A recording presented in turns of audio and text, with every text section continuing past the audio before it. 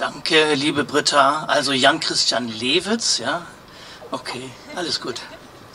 Ja, ich hatte heute Morgen was erzählt, wie wird man Atommüllmann, das wiederhole ich jetzt gar nicht. Jetzt ist mir eingefallen, was könnte ich denn da noch sagen? Also der Punkt war, es ging mal los mit Feuer aus Holz und Benzin, so. Und irgendwann mit Schwarzpulver und anderen Sprengstoffen und was da alles passiert ist, will ich ja gar nicht weiter erzählen. Aber habt ihr schon mal drüber nachgedacht, dass die größten Pyromanen zur Freiwilligen Feuerwehr gehen? Ich arbeite jetzt in der Kerntechnik. Okay, das war jetzt äh, kein Witz. Der Witz kommt jetzt erst. Ich hatte auch gesagt, Mama, nehme ich in der Plastiktüte den Atommüll mit runter, ja, weil ich bin ja Atommüllmann. Und dann gucken die Leute so ein bisschen pikiert und ich wundere mich immer, denn mein Strahlenmüll, der stinkt ja gar nicht. Was, was machen die, rümpfen die die Nase so, ja? Ich sag immer, das stinkt doch nicht. Ich bin nur verstrahlt. Okay, jetzt könnt ihr lachen. Also ich bin verstrahlt, ich strahle immer, okay?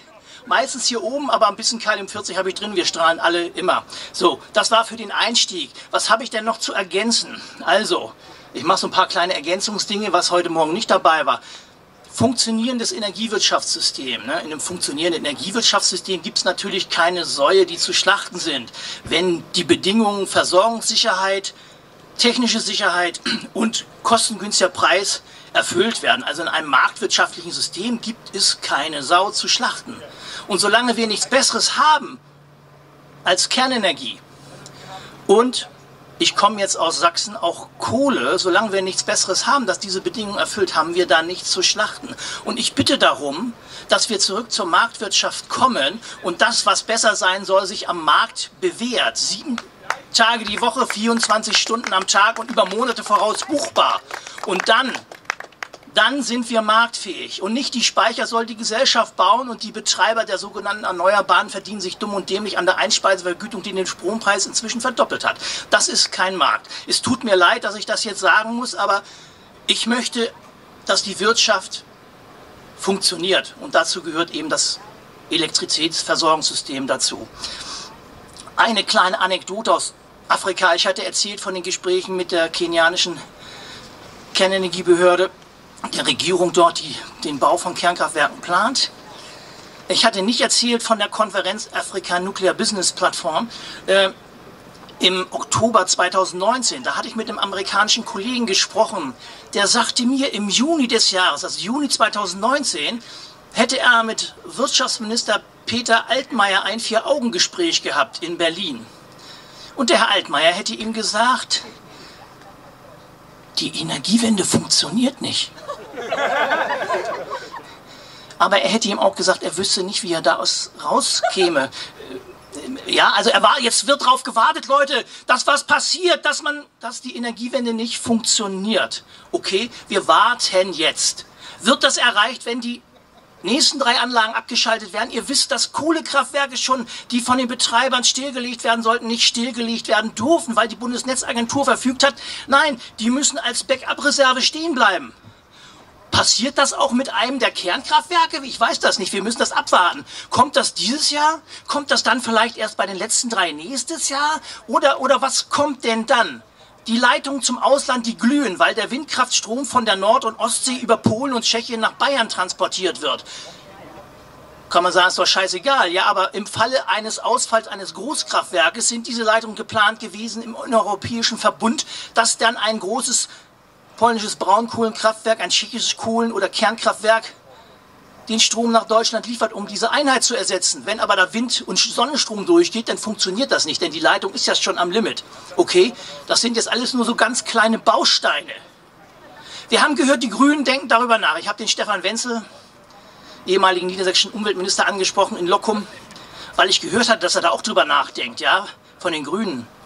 Der hatte wohl mal sowas geäußert, wurde aber dann von seiner Assistentin zurückgepfiffen. Und das war in Lockum und da waren noch zwei, drei andere Leute in der Nähe und er traute sich wahrscheinlich nicht mit mir zu sprechen, weil, weil das eben nicht, die, die eigenen Leute wollen nicht, dass man darüber spricht. Aber ich habe gehört, es soll da sowas geben. Ja. Am 16. September bin ich bei den Karlsruher Atomtagen der Grünen in Karlsruhe eingeladen von der atompolitischen Sprecherin der Grünen Bundestagsfraktion Silvia Kotting-Uhl. Die tritt nicht wieder an. Bravo. Ich weiß gar nicht, ob man. Nee, nee, nee, mal Leute. Ihr, ihr sagt immer, es kann nicht, schlimmer kann es nicht werden. Vorsicht, Vorsicht, Vorsicht, okay? Mit Frau Kotting-Uhl weiß ich, woran ich bin. Wir sprechen miteinander, wir behandeln uns höflich. Ich sage guten Tag, wir lächeln uns zu. Ich lobe sie auch manchmal.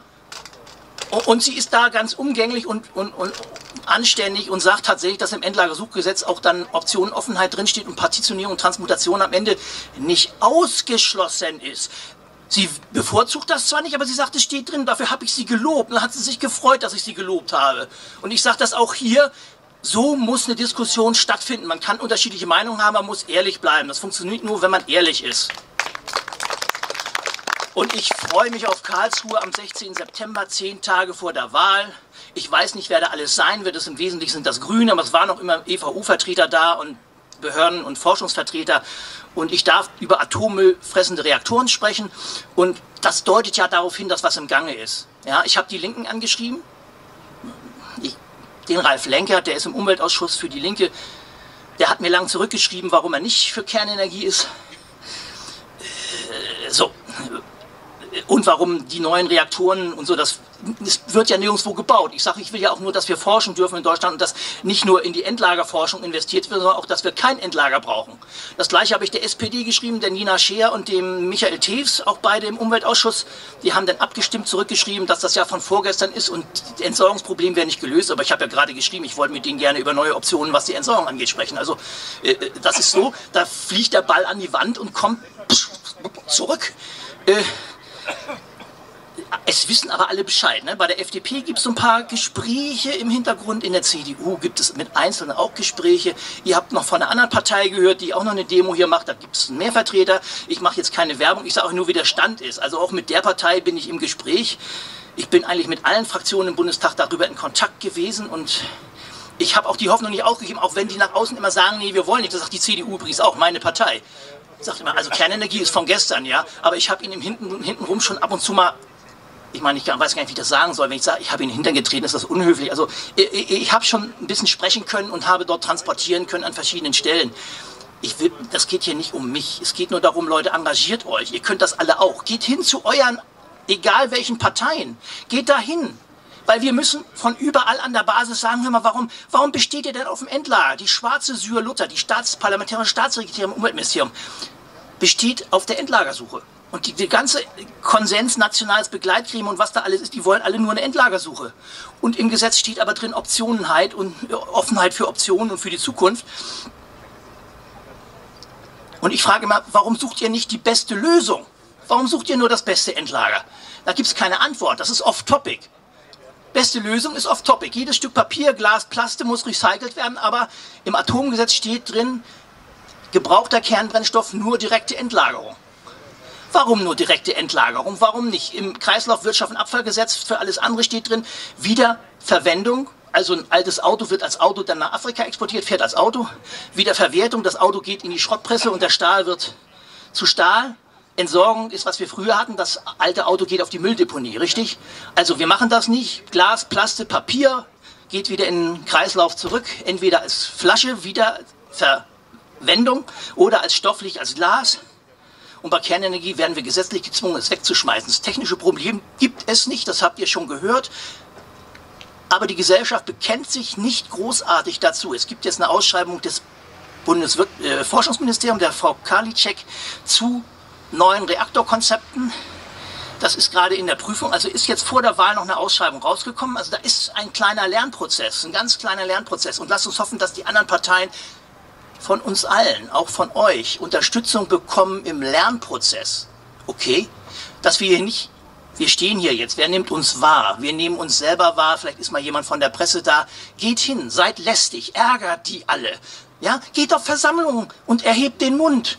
Nationales Begleitgremium kann man sich im Internet anmelden. Ich habe das ein paar Mal gehabt. Wenn man sich jedes Mal anmeldet, ist das auch sehr frustrierend, ja. Äh, der Christoph Bade hat sich da auch angemeldet. Ich kann auch andere, die sich da angemeldet haben. Macht das. Geht dahin. Die brauchen einfach aus verschiedenen Stellen immer wieder Stimmen, die dieses Thema auf die Tagesordnung bringen. Okay? Informiert euch, engagiert euch. Dann haben wir eine Zukunft. Ich danke euch. Mit strahlenden Grüßen.